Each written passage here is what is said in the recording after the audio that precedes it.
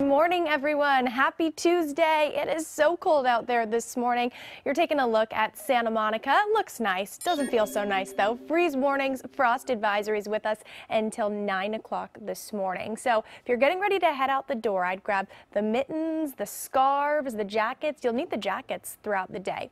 We have temperatures in the 30s in San Bernardino, Riverside, Ontario, in the 40s downtown at LAX, and 30s in Oxnard and Camarillo and Big Bear, it is just one degree and highs will be right around freezing this afternoon. In comparison to this time yesterday, we're anywhere from 10 to 20 degrees cooler. Later today, highs will once again be about 10 degrees below average.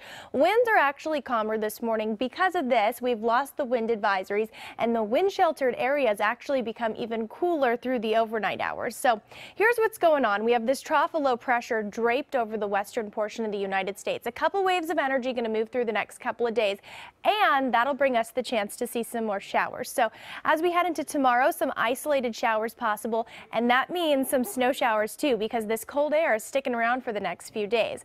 So cloud cover increases tomorrow, some isolated showers possible, better chance for rain though Thursday afternoon into Thursday evening into Friday too. So I'd keep those umbrellas handy the next couple of days.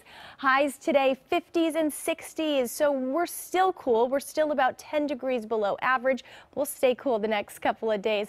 Take a look. We'll add on a degree or two, but overall cool temperatures. And then as we head into the weekend, we're drying out. The sun shines back. Temperatures right around normal, if not just slightly below it.